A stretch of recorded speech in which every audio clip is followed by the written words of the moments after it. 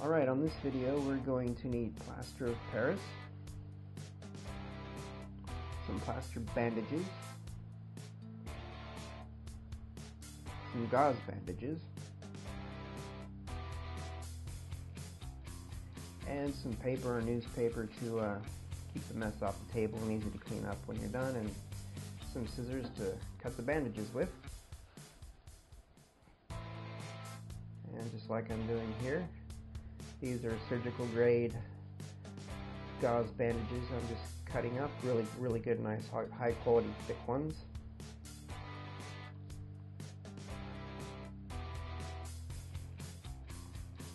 There's the plaster of Paris.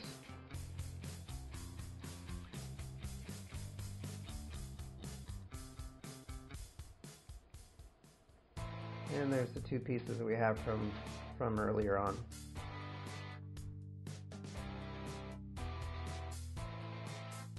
These two mass pieces have already taken about four days to cure. They're nice and hard and bone dry now. That's really important. You don't want to work these until until they've gotten nice and dry.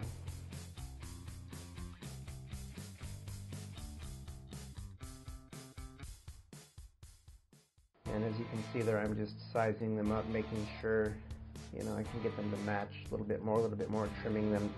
Careful not to take off too much, because you take off too much, then you damage it, you got to repair it, it's just a lot of work. So just take a little at a time, just trim it, just get a little bit closer and closer until you're, you're happy. Right there, they're nice, they're close together.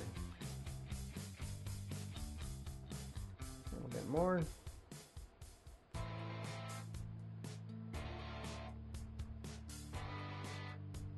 looking better.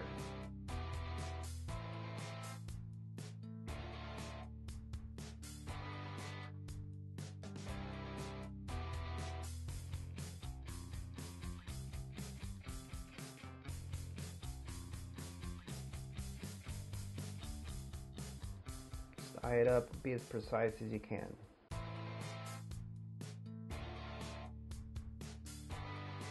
Alright, now I've Put away all the trimmings. Start fresh, nice clean work area. Pour the water in the plaster of Paris. Mix it up.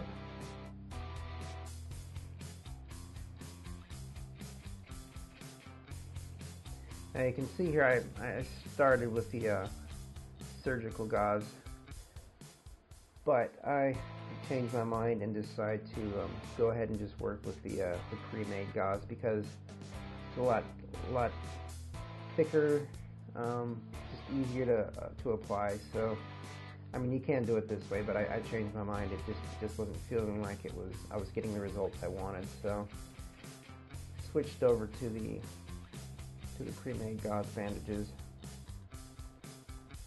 Just soak that in with the water plasters, just gobbing the plaster on there as much as I can.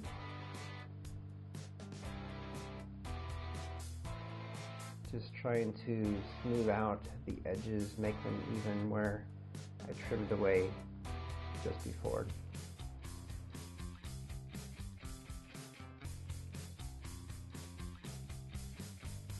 And I'm just going all the way around, making those edges nice and smooth.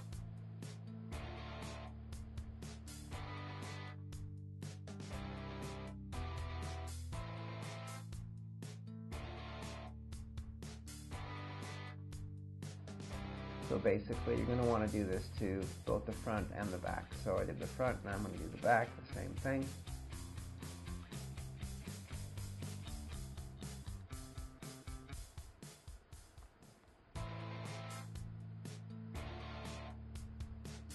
Pretty straightforward. Obviously the goal is, you know, once we put these two pieces together, want them to match up so when we pour latex, you know, it doesn't leak out. It's nice and even. There's there's still another step, you know, a couple. There's still several steps beyond this. This is just the initial step to uh, smooth out those edges. And here we go, filling in the eyes and nose holes. There's no hurry to do that. Right there filled in and now I can take extra plaster. The plaster's starting to thicken a bit and just gob that in where I just filled in the nose and the eyes and uh, smooth that out.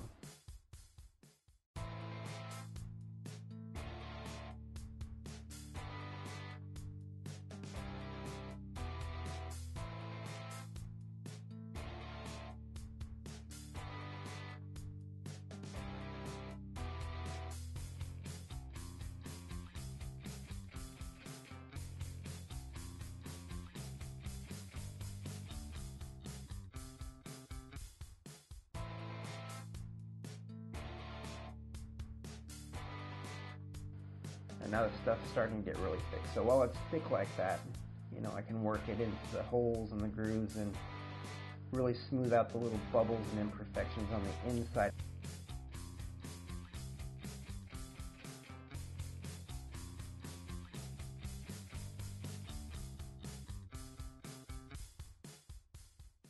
Need to thin, thin the plaster out a bit because it, it gets really thick really quick keep it really nice and smooth and liquidy so you can fill in all those little areas that need to be nice and smooth.